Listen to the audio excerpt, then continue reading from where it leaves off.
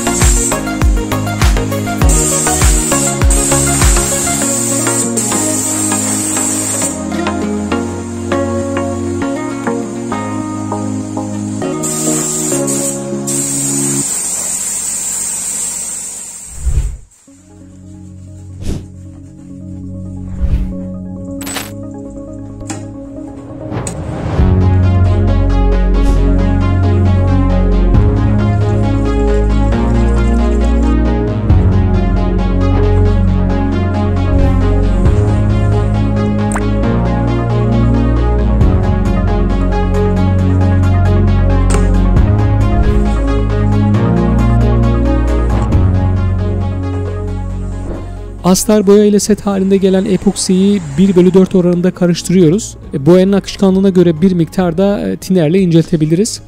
Böyle bir araç için yaklaşık olarak 5-6 kilogram astar e, boya gerekti. Ancak araç genel olarak temiz olduğundan 2-3 kilogram ile tek kat uygulamamız yeterli olacaktır.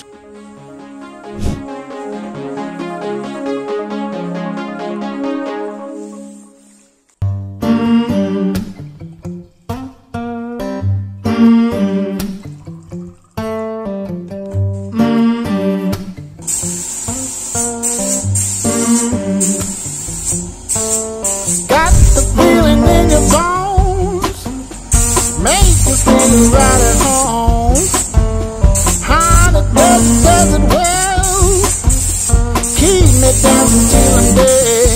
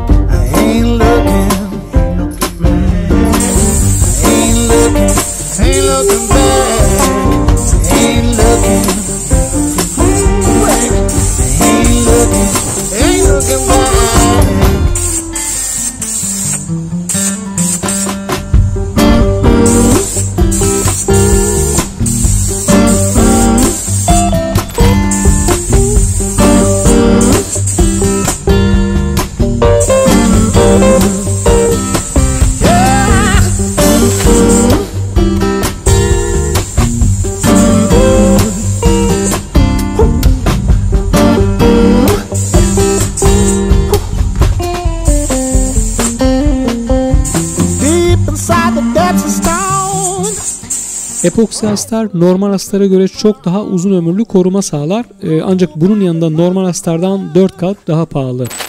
Dolayısıyla aracın durumuna göre eğer çok fazla pas e, mevcut değilse e, tüm karkası 2-3 kilogram ile tek kat uygulamak yeterli olacaktır.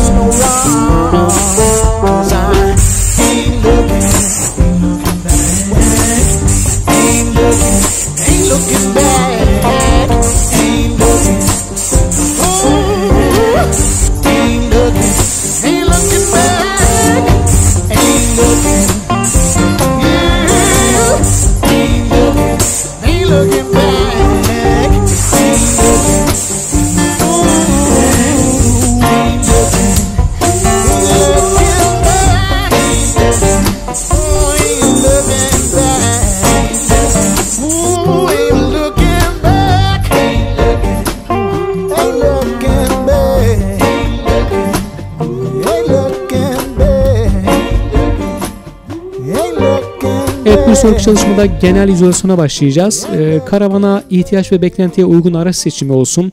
Dikkat edilmesi gereken hususlar konusunda ve dönüşüme dair diğer tüm merak ettiğiniz konuları video açıklama kısmında paylaştığım WhatsApp iletişimden ulaşabilirsiniz. Kendinize iyi bakın. Hoşçakalın.